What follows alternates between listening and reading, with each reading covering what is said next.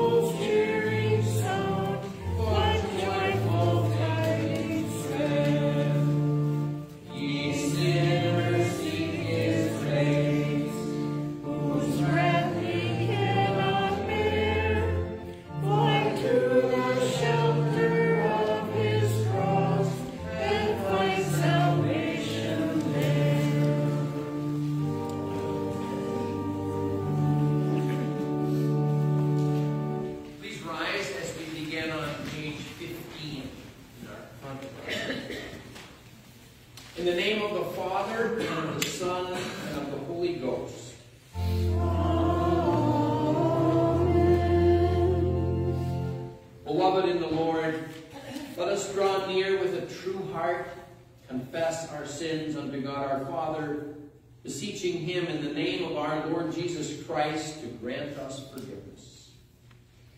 Our help is in the name of the Lord.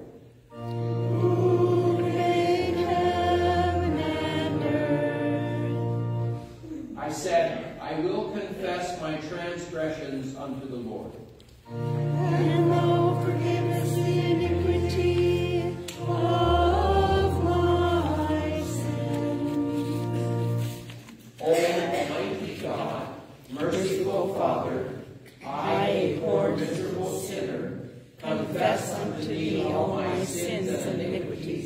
with which I have ever offended thee, and justly deserve thy temporal and eternal punishment. But I am heartily sorry for them, and sincerely repent of them. And I pray thee of thy boundless mercy, and for the sake of the holy, innocent, bitter sufferings and death of thy beloved Son, Jesus Christ, to be gracious and merciful to me, a poor sinful being.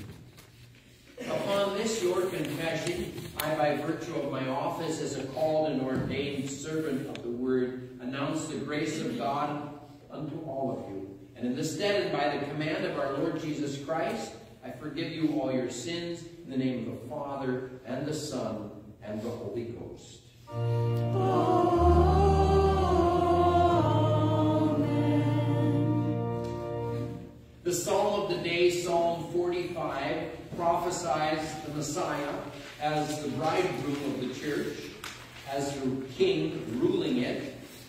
In praying this psalm, our hearts must be filled with the thoughts of Christ with submission and honor, and with the earnest desire to grow his church in the world.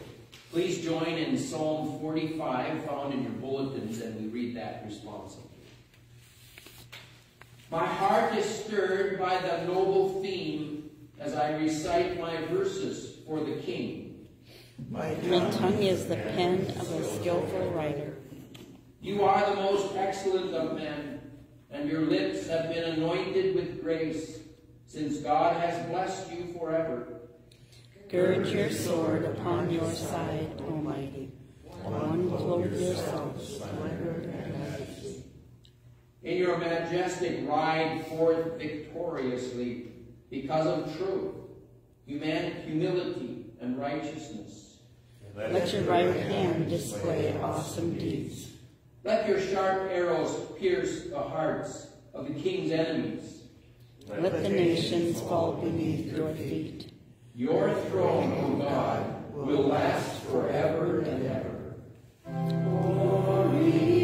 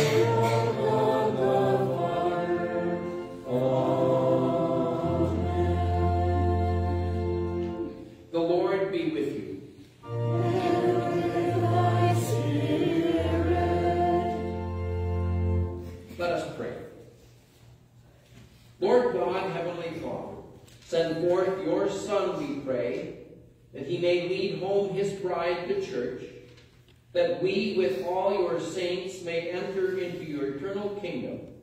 Through Jesus Christ, your Son, our Lord, who lives and reigns with you in the Holy Spirit, one true God, now and forever. Please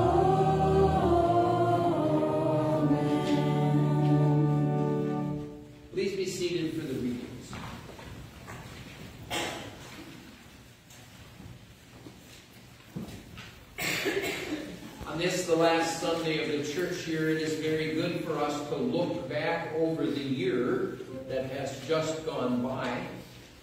We know that Jesus is the King, ruling and controlling all things for our good.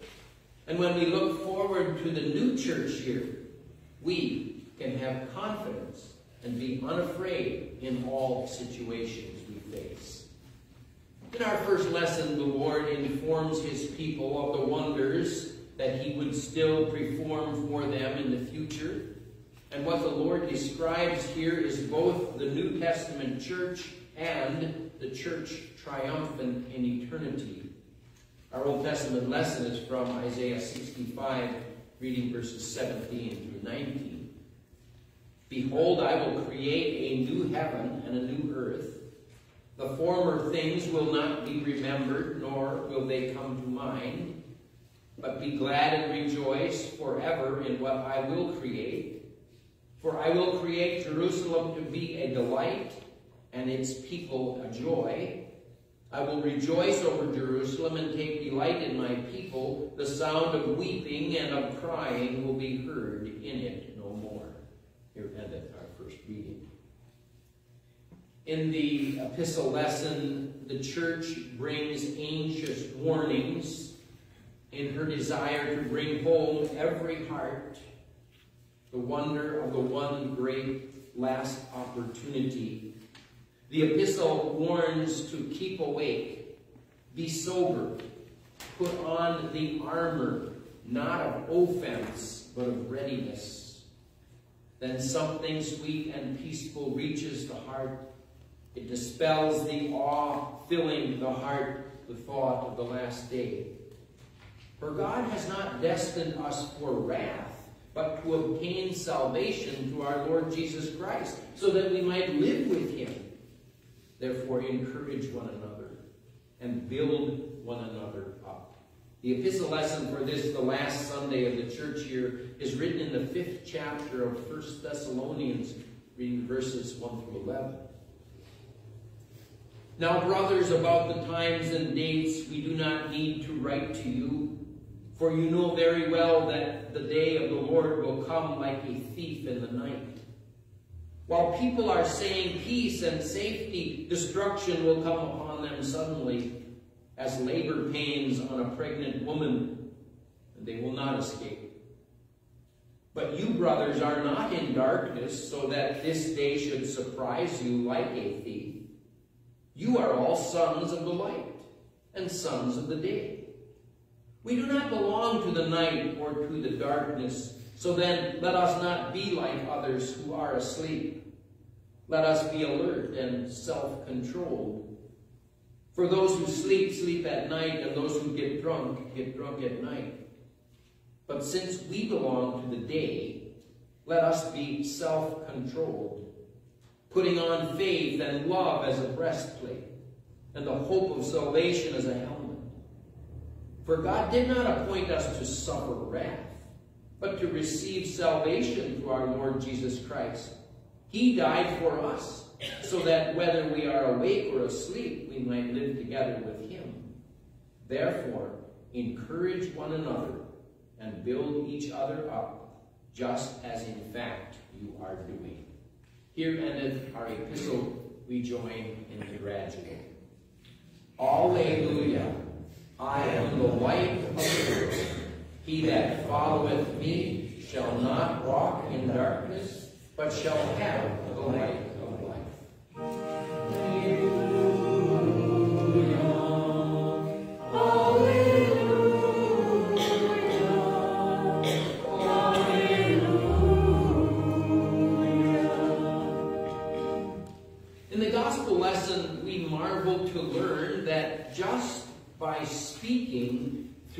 holy word, Christ gives life.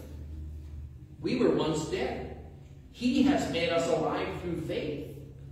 And at Christ's coming, we will rise to life with God. The Holy Gospel is written in the fifth chapter of St. John, reading verses 25 through 29. Please rise for the reading. I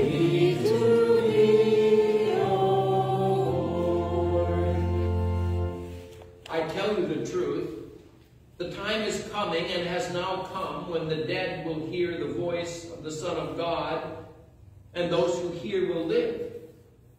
As for the Father has life in himself, so he has granted the Son to have life in himself.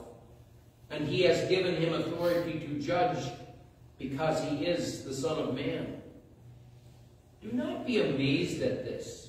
For a time is coming when all who are in their graves will hear his voice and come out.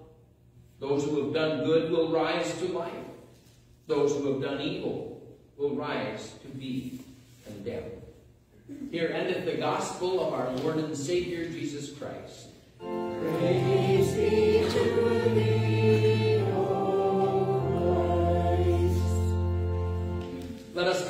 our Christian faith in the words of the Nicene Creed found on page 22. I believe in one God, the Father Almighty, maker of heaven and earth, and of all things visible and invisible, and in one Lord Jesus Christ, the only begotten Son of God, begotten of his Father before all worlds, God of God, light of light, very God of very God, begotten, not made, being of one substance with the Father, by whom all things were made, who for us men and for our salvation came down from heaven, was incarnate by the Holy Ghost of the Virgin Mary, and was made man, and was crucified also for us under Pontius Pilate. He suffered and was buried, and the third day he rose again according to the Scriptures, and ascended into heaven, and sitteth on the right hand of the Father. And he shall come again with glory to judge both the quick and the dead, whose kingdom shall have no end. And I believe in the Holy Ghost, the Lord and giver of life, who proceeded from the Father and the Son, who with the Father and the Son together is worshipped and glorified, who spake by the prophets. And I believe one holy Christian and apostolic church. I acknowledge one baptism for the remission of sins, and I look for the resurrection of the dead and the life of the world to come. Amen. Please be seated for our next hymn, and we sing 609.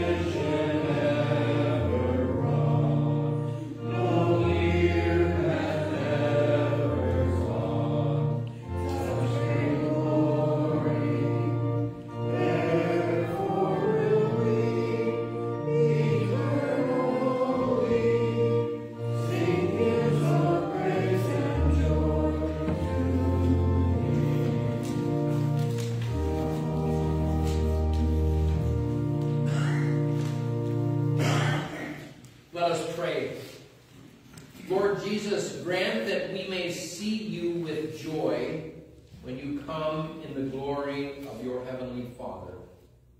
Make us alive so that we may share that joy with others, that they also may enter with you and all the saints who went before us. Amen. Grace and peace be unto you from God our Father and from our Lord and Savior Jesus Christ. Our text is written in the fifth chapter of John, reading again verses 25 through 29. We read as follows in Jesus' name. I tell you the truth, the time is coming and has now come when the dead will hear the voice of the Son of God, and those who hear will live. For as the Father has life in himself, so he has granted the Son to have life in himself. And he has given him authority to judge because he is the Son of Man. Do not be amazed at this, for a time is coming when all who are in their graves will hear his voice and come out. Those who have done good will rise to life. Those who have done evil will rise to be condemned. O Lord, sanctify us by your truth. Your word is truth. Amen.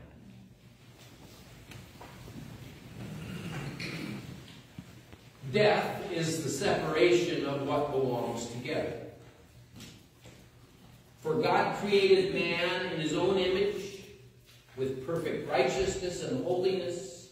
Sorrow, sickness, and death were unknown to him But when Adam and Eve fell into sin, fell from God, they died. And as a result, all people are born in sin and dead in their trespasses. This is often called spiritual death. This spiritual death, then, is the total separation of our human nature, making us unwilling and unable to come to God and this will end in our eternal death, total separation from God. But God gives us a lifeline through the waters of holy baptism. Dear fellow redeemed, as the church year draws to a close, we are directed to focus on the end of all things, which will be fulfilled with our Lord's return Today we look at our theme, Believers in Christ Await His Return. And as true believers, we are to await this with joy and with the assurance that eternal life in heaven is ours. Our text says, I tell you the truth, the time is coming and has now come when the dead will hear the voice of the Son of God, and those who hear will live.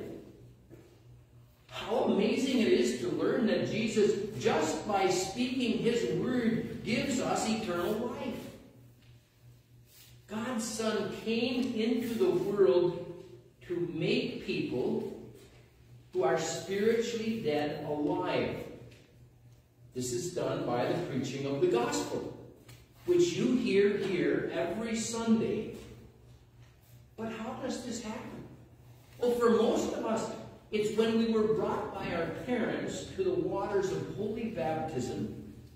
When a little infant is brought to the baptismal font, then Christ raises them from the dead.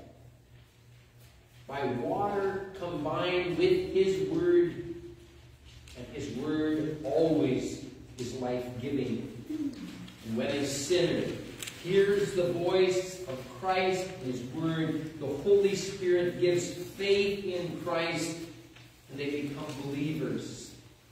Then that sinner is raised to life. Just as surely as Lazarus heard the voice of Christ even in his tomb, so dead sinners are made alive in Christ. So this is what's happened then to you and me. We who were dead have been made alive and raised by the word of Christ. The instance we came to faith, whenever that was, then our dead souls sprang to life again. The way it was supposed to be from the beginning. all believers pass from death to life. And not just life, but eternal life. And how can we be so full of life? Because Christ himself has given us life. He dwells within us. Our life is hidden in him. And this is so powerful. It is almost more than our body can contain. The glory of the Son of God wants to burst forth into plain sight before all people. And since we have already been raised, we've already skipped past the fearful judgment that is to come. We have been judged. We have been declared innocent because Christ was condemned in our place. He was declared guilty on the cross so that we will be forever innocent in God's eyes. Oh, there will be those that try to bring accusations against us. The devil, the world, our own sinful flesh. But since Christ has authority to judge, he has already declared us innocent. We can never be found guilty. This is a guaranteed promise of this powerful life that is inside you. And it is the resurrection of Jesus from the dead. Just as he came to life, therefore, believers in Christ are forever alive Oh, each of us will face or experience the brief and gentle sleep that flesh calls death. But really, that sleep is the final greatest blessing that we can receive here on this earth, since that sleep brings you into the presence of Christ forever what about those who reject this call of the Holy Spirit? There are many who shut their hearts against the voice and are unwilling to come to Jesus, remain in their spiritual death. But there's still more to come.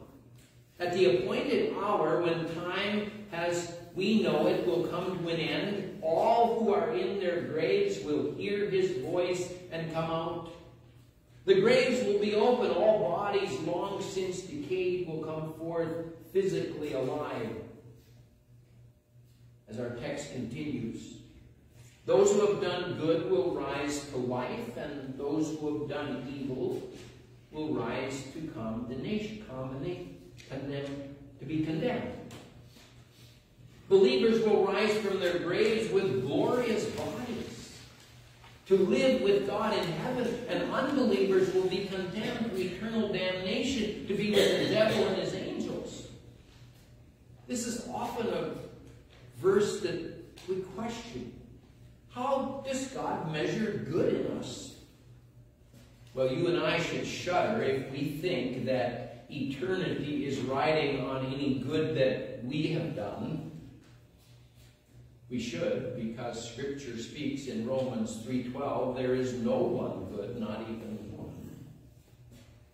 On Judgment Day, Jesus will identify those who have done good, but remember the readings from a few weeks ago. They will still ask, when did we do those things, Lord? Of course, the answer lies in what Jesus says in verse 24. Whoever hears my word and believes him who sent me has eternal life and will not be condemned. You see, those who hear God's word, believe in the Father and the Son, already have eternal life. So we are saved by faith alone. But faith is never alone. In faith, believers receive eternal life.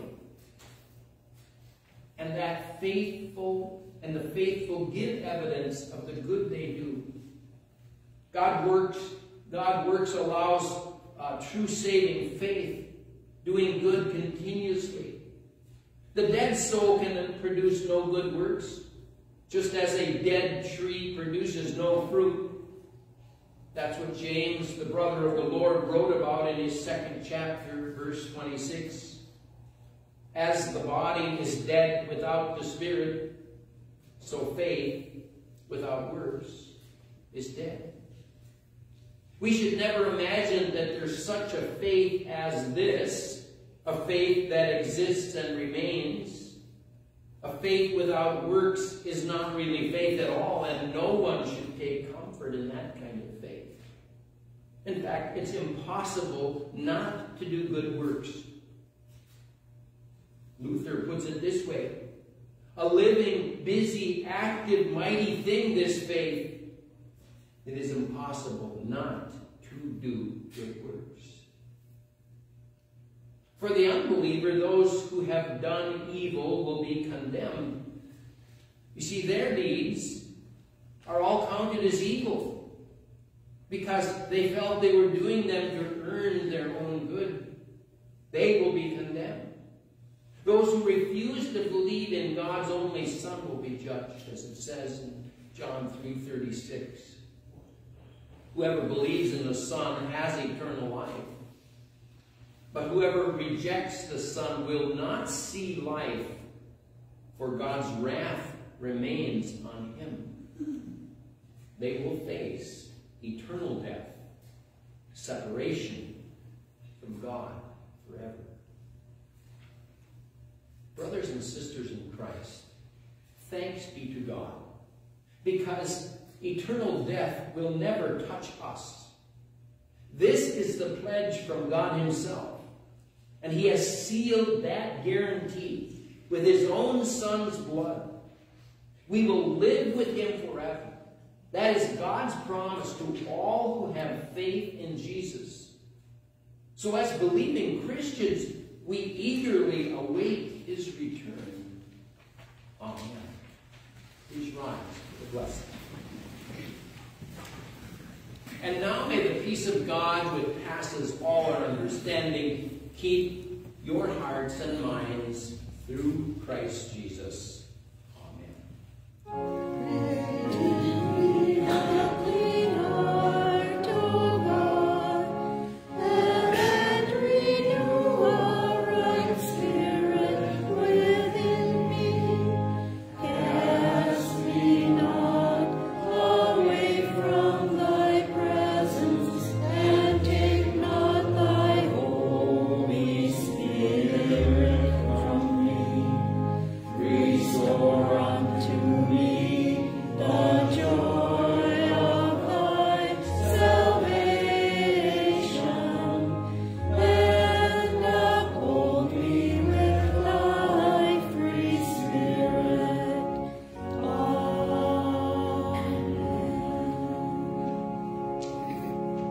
Please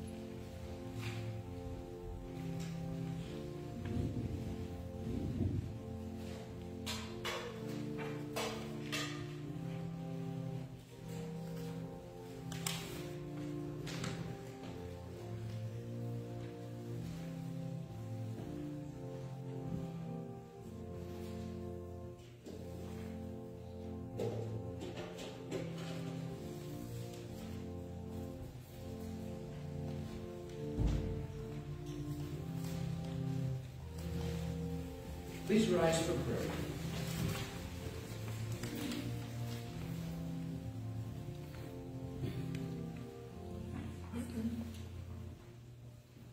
We give thee but thine own, whate'er the gift may be. All that we have is thine alone, a trust, O Lord, from thee.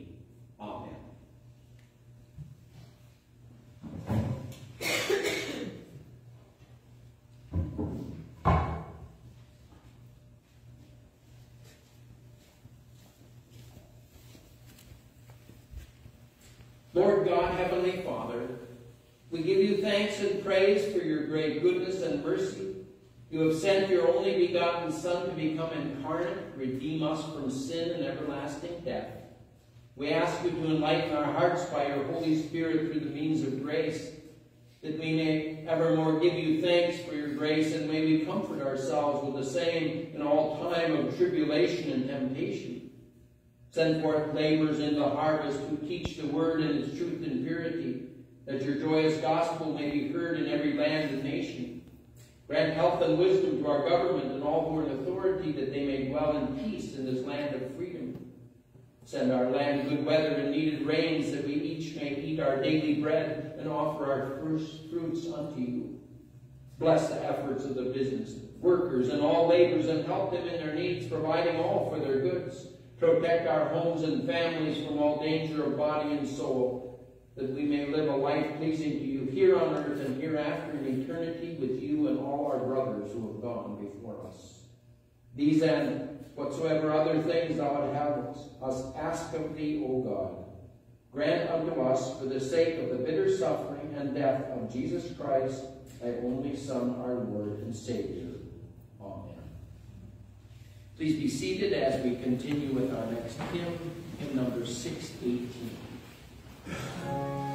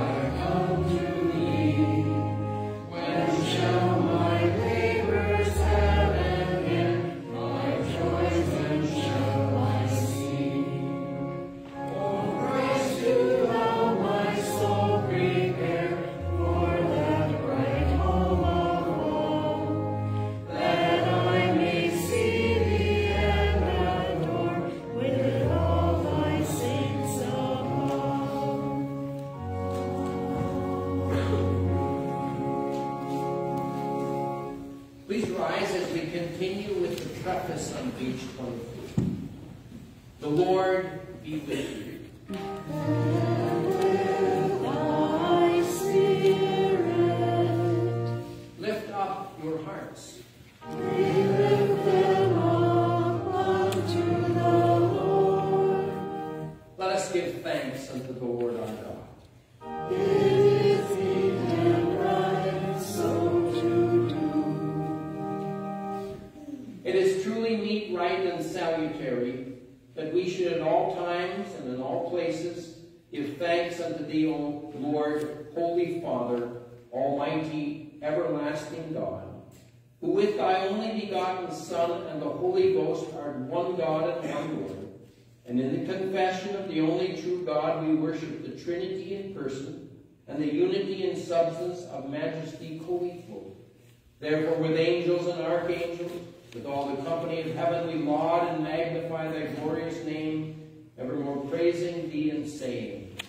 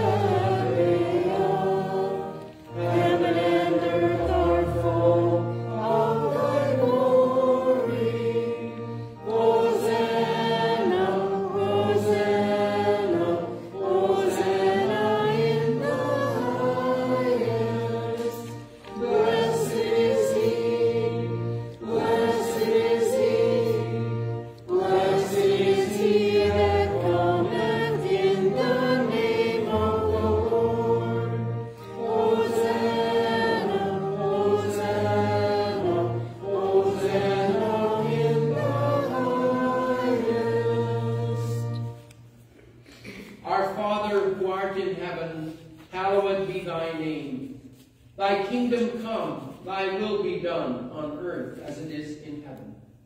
Give us this day our daily bread, and forgive us our trespasses, as we forgive those who trespass against us. And lead us not into temptation, but deliver us from evil. For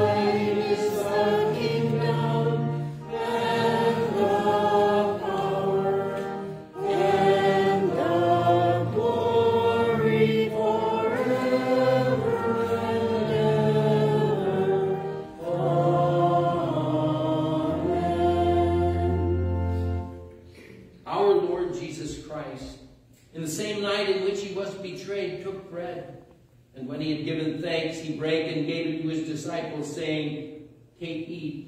This is my body, which is given for you. This do in remembrance of me. After the same manner also he took the cup when he had supped and when he had given thanks, and gave it to them, saying, Drink ye all of it. This cup is the New Testament in my blood, which is shed for you for the remission of sins. This do as oft as you drink it in remembrance of me. The peace of the Lord be with you always.